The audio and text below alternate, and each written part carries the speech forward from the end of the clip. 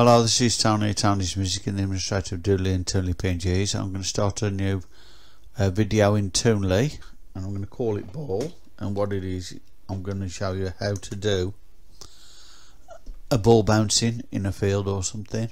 So what we're going to do is start off with a background. and Any old background I'll do, that one will be fine.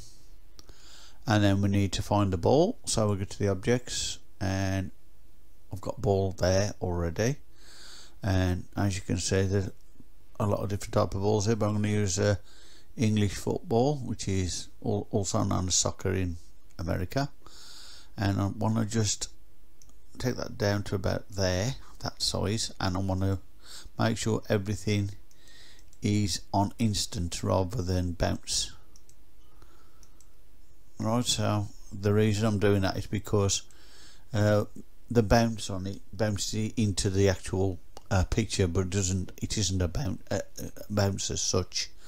I mean it could be useful for the actual what's it but uh, really what you need with this is uh, a GIF football or GIF ball of some kind which is spinning. And then you can do the same as this with a GIF right? So I haven't got a GIF of a ball spinning at the moment so I'm just going to use whatever we got here uh, any of these PNGs here right. Uh, and make sure they're on instant. Then when it's on instant like that I want to get, get oops. I've accidentally caught that. I didn't mean to do that. So let's get rid of that. Uh, what I wanted to do was get there. And I want to do an instant of this football again. About several times actually. So copy that. Paste it like that. Move over to the next end and then do it again.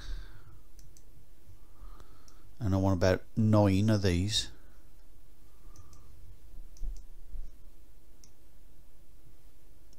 Instances so if we can do that that'd be best.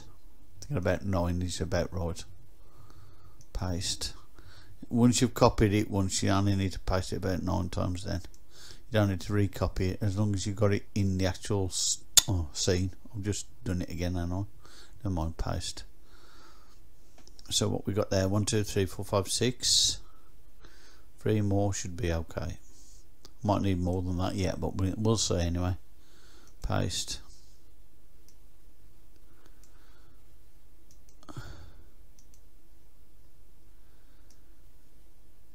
okay that's one. Right okay now we go back to the beginning to get the first one click on the first one there. Right now we need to click on this node here which is the first node and we want that being right on the edge of the scene. And the second node it needs to be down here. Right so it's coming down like that. And we need to click this next one here and put that one on the scene where that one is and then bring it down drag it onto that one then we need to take it to there. So that one's that one there. Then we need to click on that one and then take it up there like that. Then we need to bring this one in to play and put that there and drag that one onto there like that and that make sure that's clicked. Yeah. Then we go click on that one and bring that one down Now bring that one into play. Like that just move it across so that it's on when that one's on and then you can put that there. Click on that one make sure it's that one that's on there right? And then you go click onto that one. Bring that one up. Like that. You have to click the nose if you don't click the nose it doesn't register in the place that you want it to be right? So I'll click on that now there and then bring it across to there and you click on that node here which is the one that should be down here like that. So we, we'll have a look at that. So that goes from there to there. Yeah. Right. So we got let's see how that's going so far. Right let's just play that.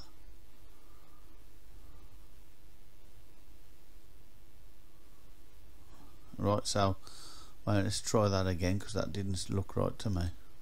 That one that's going to be too much to do there. That one's too too smaller. What's it so on here I need these ones to be higher. Right that one. One goes up there. And this one goes to there and then go down there and then instead of going down there it goes to there. And that one goes to there. And goes up to there. Right. And that goes down to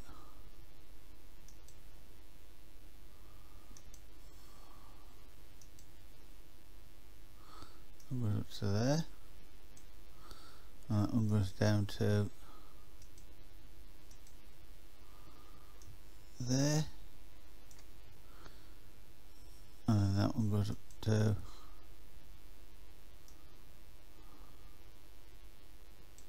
that on.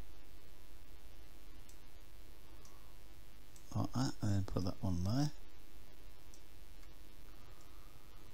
Might might have enough there actually with a few few less so that's that one and then go to there.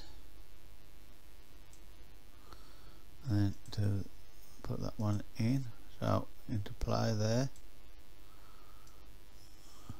Right so that one goes there.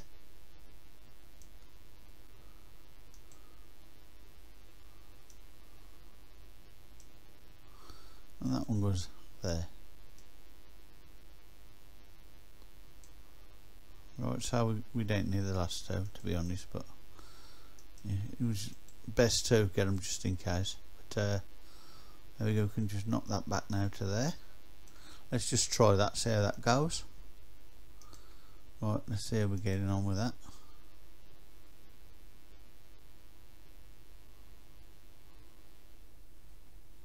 There you go. That looks pretty reasonable so um, that's how you do it anyway um, it's not that hard really. It's just getting the getting it the way you want it really. So if, if you wanted to make the balls move slower you'd make these longer. If you want the balls to move faster you'd make them shorter.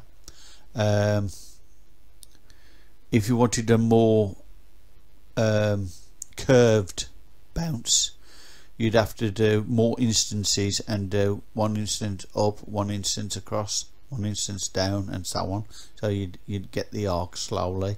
Or you might have to do one instance going up then another instance going across a little bit and up then another instance going across then another instance going down and across a bit and then another instance going a bit further. So you you get it slowly going up that way then that way then that way then that way then that way.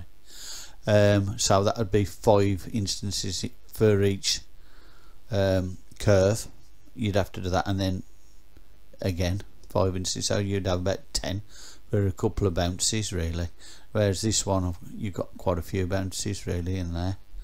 Like three bounces at least. Going on to the fourth bounce really so. Um, I hope this has helped you anyway and make you understand how to do this. Um, if you do like it please like and subscribe to Tony's Music. Thank you very much.